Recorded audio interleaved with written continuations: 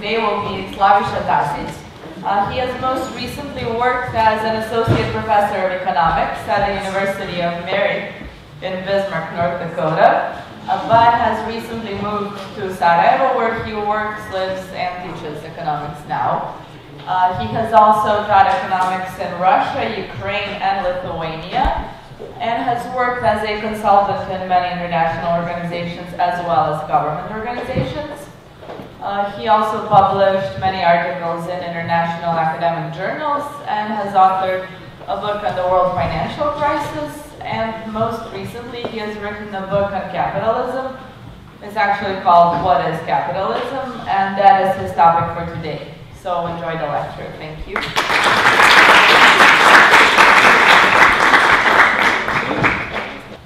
I wrote a book that is called uh, What is Capitalism, most recently, in Serbian, Šta je Capitalism. And uh, uh, it was supposed to be here, though. It was supposed to be here before the book fair, but uh, and then for this event, but it's not yet. And uh, I was thinking, uh, the, the first speaker, Mr. Mitchell, was saying that voting is the, the worst thing in the world. Voting is the, the, the, the, worst of all evils. And then Matt Kibbe said that the podiums are the worst of all evils. And then I concluded book editors are the worst of all evils. You know, they are conspiring against me to delay the publication of my book that was supposed to cause the revolution. And uh, they successfully delayed it. So, but we are waiting and, and it should be there at some point, hopefully within a month or so. Uh, what is capitalism and, and, and what are we uh, uh, talking about here today? Uh, I know it's a basic question and everybody's supposed to, to, to know it, sort of, uh, but I figured that it's not exactly that. So let's start first with this, with some history. This is the, the graph, this is my favorite graph probably in, in, in the entire world, and it shows the entire history of, of economics, or rather of, of economy, history economy in, in the world. Look what's here. This is GDP per capita, gross domestic product, or income per capita, living standard, the, the, the, the, most common measure of living standard per capita, per person in the world. And these are different countries in different colors, just a few selected countries. And this is timeline here, you see the year. I started from year zero, we could start from way back. We could start from the beginnings of civilizations, uh, the Greeks, the, the Egyptians, Mesopotamians. We could start from the from the from the times when people started living in, in, in communities from from 10, around 10,000 years before uh, Christ. So we could start from that time, and uh, we'll still get this zero here. You see how this line is stuck to zero up until quite recently. So that was the economic history of the world. Nothing happened. Nothing happened forever. For thousands and thousands of years, there was no noticeable increase in living standard whatsoever. Zero. That means the, person, the, the, the life of the average person didn't change at all in the economic sense. You go back to the times of old Greeks and Romans, and then you see these amphitheaters and, and, and you see the gladiators and stuff, but you see how the average person lives. They live, they're very poor, they live very short lives, uh, they work a lot and they, they, they, they live very uncertain lives. They don't know what's happening tomorrow. You fast forward 2,000 years, you go to 1700, the 17th and 18th century, and what do you see? Economically, you see the exact same thing. Nothing changed there. So you see a different architecture. Now we have cathedrals in Europe. You see different political structures. Now, by that time, they already developed parliaments. They developed uh, uh, what are today's ministries and, and prime ministers and stuff. But economically, exactly nothing happened. It's about the same level of living standard for thousands of years. The old Greeks and the contemporary, not contemporary, but 17, 1800, uh, French or Italian or Germans or anywhere else in the world live exactly the same, about the same level of living standard. I find that pretty fascinating. And uh, when I, I think I assumed before I knew this stuff, so when, uh, before I inquired about the economic history of the world, I assumed, I guess, that the, the, the development is rather linear, that economies grow like this. You know how they grow today? They grow at 2%, 3%. If you're in Serbia, then it's 6%. No, it's but, uh, you know, they grow. We expect some growth rate. We expect some GDP growth rate. We are used to some decent uh, growth rate, GDP growth rate, income growth rate. And I think we assumed, or I assumed in the past, that that was like that forever. That's how, that's how it worked. That's how life works. No, not at all, actually. It was stagnant for a very, very long time, and then suddenly it increased like that. It increased to these crazy levels. It increased within, in history, in a very short time span. Historically, this is a very short time. This is about 200 years. It starts in the early 1800s. That's when the sustainable GDP growth per capita starts. That's a very historical, a very short time. And increased, you see the line. Incredible. It's incredible. It's immeasurable. This is GDP per capita now. And that's a very rudimentary measure. That's a very rough measure of, of, of income. There are a bunch of things that we can't measure a bunch of things that, that enter our quality of life that are not even measurable. So this line is probably even underestimating the level of, of wealth and comfort that we have today. I'll give you one example. Anesthesia. If you go to a dentist and they need to take your tooth out, they give you this uh, uh, uh, medicine, this anesthesia, and you know it doesn't hurt. If you ever went, you know that it doesn't hurt. That thing costs very little today. I don't, know, I don't know how much it costs, but say it costs 10 bucks. That means that it contributes to GDP about $10 or euros. But the comfort, the level of comfort that you get from that is a lot more. If you had to, you would pay even more just to have that thing. We're lucky it's so cheap.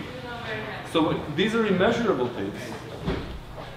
And when you look at that, our growth, the GDP growth that happened in the past 200 years is literally incredibly high, literally immense, immeasurable. That's what happened. That's what happened. Now, why did it, why did that happen? If you, if, if, you, if you, once you start thinking about it, then you have to ask, well, why did it happen?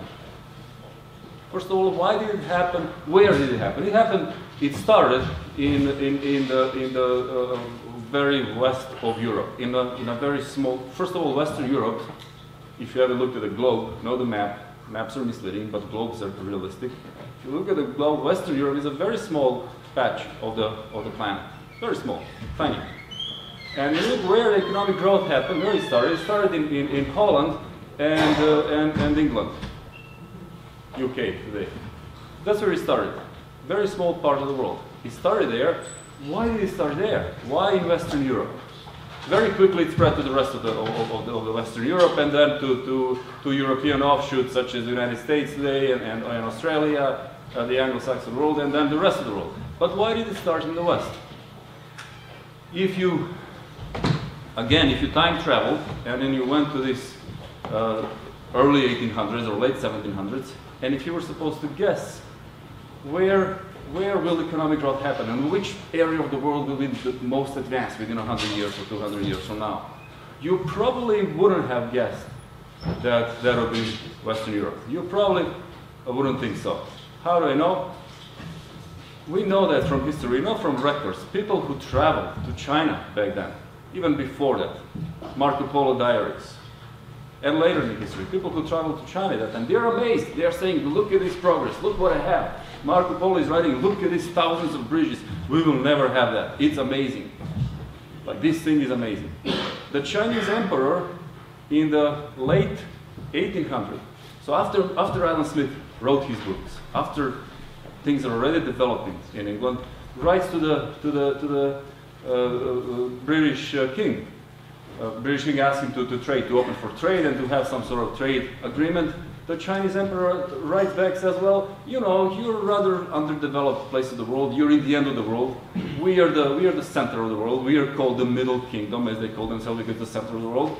We are developed. I understand that you want to learn from us, that, that, that you want to, to get our stuff, which is, uh, you know, luxurious silk and all this great stuff. But we don't really have interest in trading with you because, you know, you're a backwater, let's face it. Uh, there's nothing going on there. And uh, uh, that was the prevailing opinion of the time. China was more developed. It looked, at, at, at least it looked more developed. We know that when, when Columbus went, being a Western European, being Italian, Spanish, when he, when he went to, to the United States, and he had these three, three, three vessels, right? Uh, Chinese admiral, the certain uh, Zheng He, about a hundred years before Columbus, had 200 vessels that were up to five times bigger than Columbus's ships. Five times bigger. He went from China all over the, the, the, the Pacific, uh, the, the Indian Ocean around India, all the way to Africa. He went there, he looked around, he said, Well, there's nothing to see. We are the most developed place on earth. Uh, let's go home. And therein lies this difference. When they went home, when he went home, the Chinese emperor told the admiral, All right, great job, but really we don't have anything to learn from the rest of the world. You know, we are good, we are the best already. So let's not do this anymore. Let's not travel. Let's not discover anymore. There's no need to trade. There's no need to, to, to open up for anything. The Chinese emperor literally closed down the dynasty, not just one emperor, closed down the country and said, we are not going to do this anymore. For the next 300 years, they did not travel around really. They did not inquire. Nothing happened. In the meantime, and after them even, when Columbus, how did Columbus, why did Columbus uh, uh, uh, uh sail under the Spanish flag? Well, he tried to find money, he tried to find funds in, in, in, in, in Italy, he's from Genoa. He tried around, he asked around, the Spanish Queen would give him this money. What is the difference there? Could anybody prohibit Columbus from, from, from sailing, from going, you know, from trying to, to his wrong idea to, to, to try to find India towards the west? Could anybody stop him? Nobody could stop him in Europe. That is the main difference. The mere fact that nobody could stop him, there was no emperor, there was no authority, there was no central authority that could stop him. In China, there was. China was technologically more advanced, better ships, had the funding, had all that, but also had a central authority that could stop all private inquiry and initiative. In Europe, you didn't have that. That is the beginning of our answer, why Europe started growing. You see the red line, UK, and then uh, France, and then only later Eastern Europe and China. That is, that is the reason why Western Europe started growing first. That was just about the only place on earth with no central authority. Nobody was in charge of anything. You had what you'd, what, what, what, what today would resemble anarchy. You had what today we would call private cities. When Titus has his presentation, these private cities are a lot like medieval cities back then. A lot like that. And nobody was in charge. No central authority. There were all kinds of, Europe was all in conflicts. Every little territory had their own ruler. They, were, they, they would fight each other, or they were at least in some sort of potential conflict. They had a vertical hierarchy and vertical conflicts between the, between the, the, the, the aristocracy and then the higher level, the kings. Right? Magna Carta and everything, they were, they, were, they were always in a real conflict. Again, a conflict. Nobody was in charge. Even with one, within one territory, nobody was really in charge. They would fight. That's how they created the system of rules that doesn't allow anybody in particular to be in charge and to do things arbitrarily. Kings were emasculated pretty early in European history. Later on, they made a sort of comeback after Reformation and they had this era of absolutism. But before that, they really had no power, no absolute power in Europe going on, either territorially or vertically within, it, within any given territory. Why is that important? Well, from there, you have the development of the rule of law. If you don't have absolute power, if you don't surrender to the will of the single authority, then you have to set up some rules. You have to behave according to some predetermined rules. And that's what started happening. We call it today the rule of law. Some rules that are the same for everybody. Rules such as private property. The rule that, what is private property? Private property, private ownership is a rule that nobody can take your stuff, right? We saw it here. Nobody can take your stuff. That's the rule that existed elsewhere. Fine, China knew about it, everybody knew about it, Greeks, Romans, everybody knew about it, but in Europe it was really enforced. It was really enforced because nobody had authority. I had a, I had a, uh, I'm pulling up my phone because I, I forgot to put on the slide, I remember later, the, the quote from William Pitt uh, uh, the, the, elder. My favorite quote of all politicians ever. So this uh, uh, guy is saying this. He's giving a speech to the parliament. The prime minister of, of, of England is saying this. The poorest man may in his cottage bid defiance to all the forces of the crown. It may be frail, the cottage. Its roof may shake. The wind may blow through it. The storm may enter, the rain may enter, but the King of England cannot enter. All his force dares not cross the threshold of the ruined tenement. The King of England cannot enter.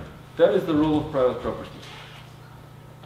That's what it means, not the Savamala thing, where, where they do enter easily.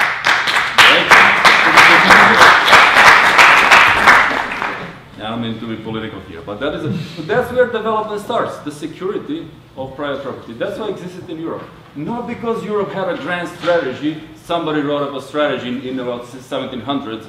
Let's develop this place. Nothing like that ever happened. Simply there was a conflict of authorities.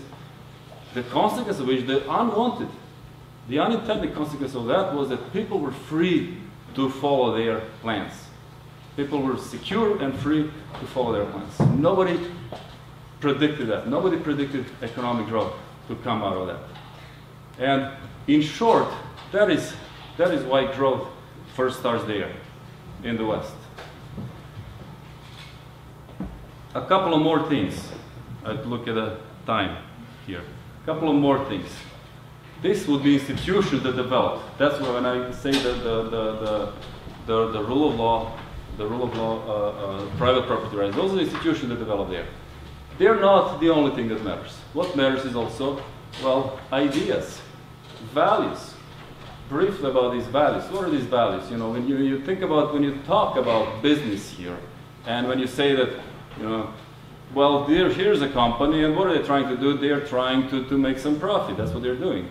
You know, we, look, we still look down to that. One big change that happened just around there in Europe, and uh, we don't quite know today for what reason, but one big change that happened was that people started changing their minds about it. They started valuing entrepreneurs and businesses. Throughout history, people looked down on, entrepreneurs. They looked at them as second-rate citizens. All these wise uh, Greek philosophers, all, the, all of them would say things such as, well, you know, he's just a trader. That's something that not really, you know, who were the heroes in medieval times? These aristocrats, these knights that fight with, with them. The, those are the heroes. Traders, merchants, they were second-class citizens, you know, in, the, in terms of, of, of, of, social status. That started changing. People like Voltaire start writing. He starts thinking and writing, wait a second, what is this uh, powdered gentleman, this aristocrat, what is he contributing to society? You know, he's sitting around there and being lazy and owning half of the country and what exactly is his contribution? But what about this merchant? The merchant actually creates prosperity. And these attitudes start changing. Those are the values. Compare that again, put it in touch with what is happening today. I think values are changing here. But we need to understand that that's a crucial component as well. To appreciate the entrepreneurs, to understand that they create value, they create prosperity. They are the creators these little guys, they translated already Ayn Rand and, and, and all that. You know, she contributed to, to, to, that a lot. How entrepreneurs do something. They, they create prosperity for all of us. So the change, when, when we, I think there is a lot of talk around here in this country of the, you know, changing the system of values, changing the value system. How about this, this value, you know, looking at entrepreneurs as somebody that creates businesses, companies, somebody that creates prosperity. And mind you, they don't do it for uh, reasons of charity. They don't do it because they want to be nice to you. They don't. They do it because they're self-interested. But that's exactly what capitalism is about. And Adam Smith, when, who first observed that this was going on, he was a little prescient. He observed first, 1776. He says, "Why? Why do they? What happens here?" He says, "These entrepreneurs, these businesses, they follow their own self-interest. Yes, they work for profit, but this is the secret of invisible hand. The invisible hand means that these private profits translate into public benefits. We benefit from the fact that somebody else wants to make money. How do you, how do you make money in capitalism? How do you profit? By serving others, by serving the needs of others, by meeting the needs of others. That's the only way. That or crony capitalism. But in real free market system, this is the only way. All right.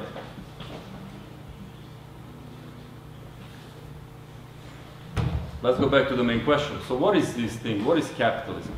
What is capitalism? We can say now if if if we see, you know, the, the, the, the uh, trajectory of growth here, we can say, well, capital is something that we start talking about around uh, 1800s, and that's when that's when this capitalism thing started. I kind of disagree with that. I think capitalism existed all along. It's just that within capitalism, some of these things changed. Values and institutions got better. Values changed. Ideas sprang up ideas, entrepreneurial ideas, and all that. We can get back to that a little bit later. Uh, I think capitalism always existed. And if you want to define it, I, uh, you know, when you start writing a book called What is Capitalism, the first thing you do, well, you Google, what is capitalism? You know, let me try to find out, I need some help here. So I get Google, and I find a bunch of these definitions from different encyclopedias, Webster Dictionary, Britannica, Wikipedia, and they, will say something like this. This is a, a combination of, of, what they're saying. An economic system based on private ownership where people and businesses compete and characterized by capital accumulation. All of that is wrong. And if you're like, none of it, literally almost none of that is true. How come now? What is it? Capitalism, first of all, is not a system. It's not a system. System is an organized scheme that somebody created. That's a system. Cap nobody invented capitalism. Nobody created capitalism. Adam Smith didn't say, oh, here, I'm going to define capitalism here.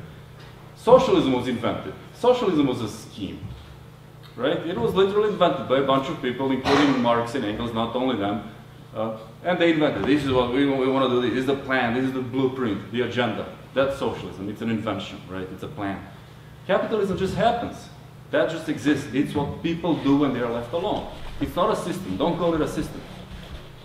Libertarians make the mistake. They would say things such as, well, you know, capital is not perfect, but that's the best system invented yet. No, it's not a system. It's not invented. Right? We don't know of any better system. No, capitalism simply means leave people alone and see what happens. See, see what they do. That's what it is. It always existed. Phoenicians traded 3,000 years ago, Greeks, Romans, whoever, everybody in history always traded. Prisoners trade in jail. They come up with their own currency. Cigarettes, you name it. Always, it's always there. Capitalism is always there in, in, in some way. You can't even suppress it. Capitalism exists even within socialism because there are black markets. You can't really root it out. It's not a system. It's an occurrence. It's something that just happens. So none of that. Is this a system? Would you call this a system? This is a skating rink. Is, this, is that a system? What's, what do skaters do? Everybody, all of them, they follow their own path. They go wherever they want to go. They have different abilities, different plans. Nobody coordinates them. And that's, that uh, ring, it looks, it looks really well when you look at it. It works really well. People fall, people get up. But nobody runs it, nobody designed it, they just put up the ring. But nobody tells people where to go, nobody tells them, all right, everybody to the left, everybody to... Nobody does, no plan, no command there. And it's going on, everybody's doing their own thing, their own plan. And yet they create order. They look incredibly orderly there. This is what our friend F.A. Hayek called spontaneous order. They spontaneously create this order. That's, that's how capitalism, the skating ring is a metaphor for, for capitalism. I stole that from Dan Klein, one great economist. Dan Klein, he, he, had a, he, he, he uh, came up with this metaphor. Yeah. Markets are like a skating rink. Individuals following their own plan and creating this order. But it's not a system. You see what it is.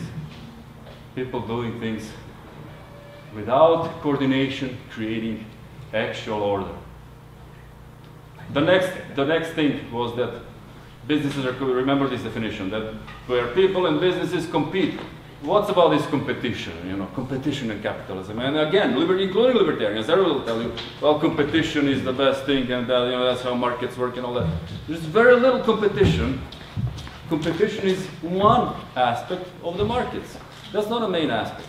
Are they competing right now? This is your typical market transaction. We do it nearly every day. Do these two compete? They're not competing, they're cooperating. That's what they're doing. He might be competing with other coffee shops, but that's one aspect. Mostly they're cooperating. Every trade is voluntary, every exchange is voluntary, every exchange means that there are two satisfied sides, and they both benefit. It's cooperation. Every business cooperates with their customers, with their suppliers, with just about everybody else except for people from the same branch, which is a small part of the full picture. You know how they point to this Darwinian competition, and then they say, well, you capitalists, you libertarians, you're like social Darwinists. And look, even Darwin didn't mean, didn't, didn't, uh, didn't think of, of, of, of survival and evolution in a competitive way. After Darwin, there was a, what today we would call a hack, uh, Julian uh, Huxley, Darwin's bulldog, who wrote, a, wrote an essay saying, competition, look, Darwin's survival struggle also can be applied to society. We struggle for survival. He wrote that essay saying it's the Darwinian competition in society. To that, so Huxley became a eugenicist. Later on, he saw society like that, as people competing for space, and he thought that was capitalism. There was a Russian anarchist called Peter Kropotkin who criticized Huxley, who wrote a book called Mutual Aid. Kropotkin didn't sit in the office. Kropotkin actually went to Siberia. He was a prince, an amazing guy. He was a prince who gave up all that. Who gave up all that. He was arrested by the Tsarist government after that. He went to Siberia to actually research what animals and species uh, do. How do they actually behave? And he figured out they mostly cooperate within same species. Yes, you can have an alpha male within monkeys, but they, even they still cooperate within the group. It's 95% cooperation. Species within each species, they first of all cooperate. Foremostly, they cooperate. Even among species, there are remarkable cases of cooperation. They cannot exist without each other. There's very little competition. There is, he says, in nature, it's mostly cooperation. Kropotkin went on to become an anarchist, unfortunately, kind of a left wing anarchist, but he, he saw this right. He saw that societies, people, mostly cooperate. They don't really compete the way that these uh, mistaken Darwinists thought. So he said his reading of Darwin was more proper. His reading of Darwin was, was actually truer to Darwin himself. So that's it. It's not about competition. Competition exists in capitalism. Do not define it as a system where everybody competes. We don't. We mostly cooperate when we, when we transact with each other. And then the very name, you know, the last thing there was the accumulation of capital. The accumulation of capital is what defines. Is capitalism about capital? First, the name capitalism was invented by, by Marx. It was invented by a guy before Marx, but really Marx was the one who, who promoted the name and called it capitalism. Why is that? Well, because Marx thought it was all about capital. Look, it's not all about capital. What are the interest rates today? You know, now Piketty wrote a book thinking it's all about capital. Interest rates today are zero, or just about zero. Riskless, risk-free interest rates are zero or negative. That means that the reward for capital is zero. That means the price of capital is zero. If the price of something is zero, we call that thing worthless, has no value, has the value of zero. Capital is nearly worthless in the world today. You can find capital if you want to start a business. You can find capital. What you need is an idea. The critical factor there is an idea. That is the scarce item here, not capital. Yes, capital matters in capitalism. You need some money to start something, but it's far from the crucial component. Not even close. Not even close. Here's one graph. Sorry about these lines in graph. I can't resist. But um, so economically, capital is not that simply not that valuable. Socially too. Let's see. The blue line is the share of wages in top 1%. You know how they uh, start with this to top 1%, the, the, the super rich and all that. Here's the share. How do, how do top 1% make money? Are they capitalists that, that sit on money? You know, before, in medieval times, all your money you made by sitting on it, aristocracy. You're the king or you're the uh, baron, you sit on that and you know, you're wealthy. Now it's very different. The income share of the richest people, of everybody, but including even 1%, including even the richest, their income share, uh, uh, the, the, wages increase as the dominant, or, or, or the, the, share of wages increases as a dominant factor of wealth here. To put this in words simply, there are less and less rich Harris and Harris's, less and less uh, uh, Athinas, Onassis, and Paris Hiltons, and more and more Novak Djokovic or, or Beyonce's or people who make a lot of money with their own labor. That's what's happening in the world. That's what's been happening in a hundred years, in the last hundred years. Here's the same graph showing that, or, or, or, a different graph showing the same thing. Top 1% income component of dividends. So this is the, the, the, the share of capital income is dwindling. What matters is what you do, more and more. Exactly the opposite of the story that we hear. So capital doesn't really matter as a factor of production, it's not crucial. And it's not even crucial anymore as a factor of wealth in a social So why do we call it capitalism? I have no idea. I call it capitalism, the title of my book, because that's accepted title. So I mean, what am I going to say? What is the free market? It just we don't have a better, we don't, we don't have a good term. So I accepted it. But uh, I go on and on there saying it, the whole thing, the, you know, associated with capital. Capital is really pretty relevant in capitalism. Deirdre McCloskey calls it uh, innovationism. It's more about idea, how to innovate, what to invent, how to do things. All right. So what is capitalism? Well, that's what people do when they're left alone.